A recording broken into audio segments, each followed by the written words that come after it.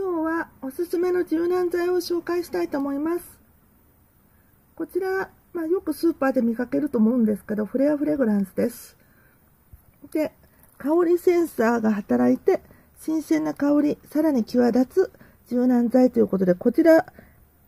笑顔をつなぐ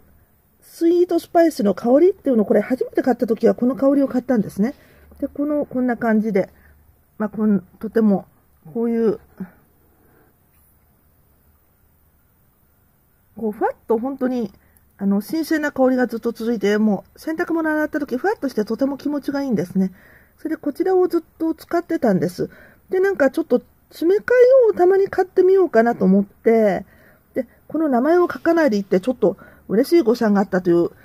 今日はお話なんですけど、たまたまこれが、自分の家に入ってるのは色が全然違うのに、これだと思って、これを買ってきちゃったんです。こちらフレアフレグランスの香りで、こちらの香りっていうのが、ここに書いてあるんですけど、フローラルスイーツ。フローラルスイーツ。積み立てのフローラルスイーツの香りって書いてありますよね。ここれを買ってきちゃって、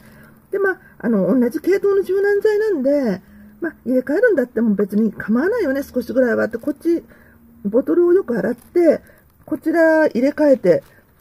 これで使ってみたんです。そしたらもうこれが香りとっても良くって、洗濯した後ももうそこ洗濯機の周りがもう、もう、ものすごく甘いお花の香りがいっぱいで、もうすごい香りなんですよ、もう。もうすごい、これはすごい香りなんで、まあこれが絶対気に入ってるからもうちょっとしばらくこれを使おうということで、あの、また忘れて間違うの買っちゃうといけないとかってことで、まあ、もう一本この間、同じ商品、この、これがお気に入りってことで、2本買ってきちゃいました。ほんと、こちらの商品、1回目買ったのと同じメーカーのなんですけど、ほんとフローラルスイーツっていう感じで、ほんとバラのようなお花のような甘い香りが、洗濯物からふわりと漂って、もう洗濯した後も洗濯機の周りがとってもいい香りなんです。こちらフレアフレグランスのフローラルスイーツフローラルスイーツっていう、まあ、名前、フローラルスイーツの香りですね。新鮮に香りさらに際立つ柔軟剤、フローラルスイーツ、フレアフレグランスの、まあ、中のこの香りの種類なんですけど、以前買ったこちらの